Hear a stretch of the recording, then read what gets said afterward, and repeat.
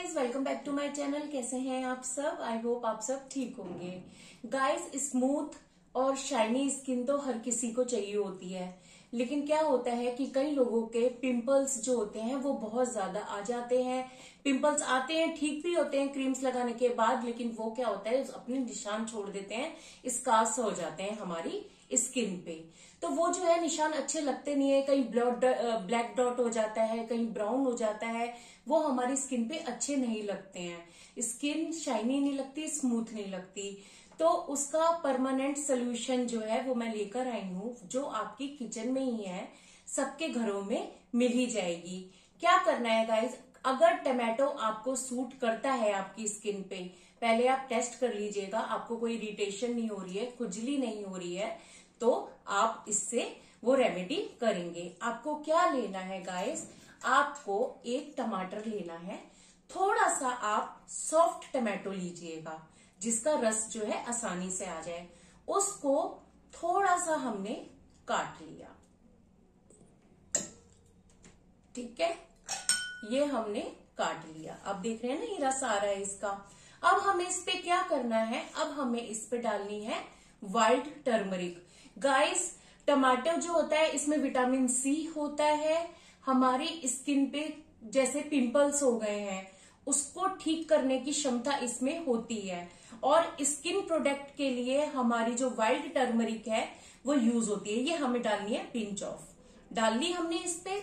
ये एंटीसेप्टिक भी होती है स्किन प्रोडक्ट में यूज़ होती है। जो भी हमारी स्किन में डिज़ीज़ होती है एंटीऑक्सीडेंट के गुण पाए जाते हैं हमारे टमेटो में, जो रिकवर करेंगे। और जो हमारी टर्मरिक है, वो जो है, उसको जड़ से खत्म कर देगी स्कार्स वगैरह सब खत्म हो जाएगी स्किन आपकी ब्राइटन भी होगी।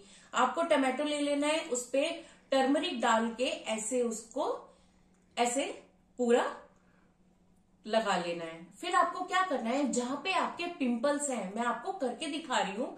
मेरे पिंपल्स कहीं पे भी नहीं है चीक्स पे, आप देख सकते हैं मेरा फेस मैं आपको बता रही हूँ, कहीं पे भी आपके पिंपल्स हो, चाहे उसमें पस ही क्यों ना हो ब्लड ही क्यों ना आ रहा हो, आप डरिएगा मत। आपको क्या करना है, ये मैंने करके देखा हुआ है, वही रेमेडीज मैं आपको बताती हूँ। आपको क्या करना है, जैसे आपके यहाँ पे पिंपल्स हो रहे हैं, है ना? आपको क्या करना है? ये ले लिया। आपने ऐसे लेके मसाज की। मसाज करते गए करते गए करते गए। ऐसे कर लिया। अब क्या हो रहा है? बहुत ज़्यादा पस वाला है आपका। ब्लड भी आ रहा है। तो जिस साइड आप कर रहे होंगे ना, ये वाली साइड है जैसे आपका। अगर आप कर रहे हैं यहाँ पे और ब्लड और पस निकल रहा है तो वो टमाटो पे भी लग जाएगा। इस साइड को आप दूसरी साइड नहीं लगाएँगे, ताकि वो चीज़ फैले ना। एक चीज़ ये समझ ली आपने? अगर ब्लड और पस निकल रहा है, उसको कॉटन लेंगे या कॉटन का हैंकी लेंगे, उससे क्लीन करते रहेंगे और ऐसे करके मसाज करते रहेंगे। यू ऐसे करके आपको मसाज कर लेनी है, अच्छे से। हम्म? अब क्या है? अब हमें क्या करना है? मसाज कर लिया आपने ब्लड भी निकलेगा पस भी निकलेगा, घबराना बिल्कुल नहीं है। धीरे धीरे वो सब चीज़ खत्म होती जाएगी, थोड़ा टाइम लगेगा।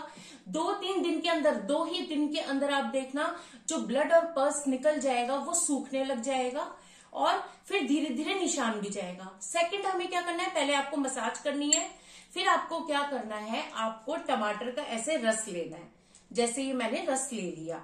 इसमें टमाटर का रस लेके पिंच ऑफ़ हमने टर्मरिक डाल ली और हमने एक पेस्ट बना लिया। थोड़ा गाढ़ा सा। एक पिंपल क्यों ना हो? बहुत सारे पिंपल क्यों ना हो? यहाँ है यहाँ है, माथे पे है, कहीं पे भी है। कैसे भी पिंपल्स क्यों ना हो? घबराने की ज़रूरत नहीं है। ये हमने ऐसा गाढ़ा सा पेस्ट लिया है। ये देखिए, ऐसे फिंगर में है मेरी। आपको लेके ऐसे लगा लेना है। डैप डैप करके। ये देखिए आप।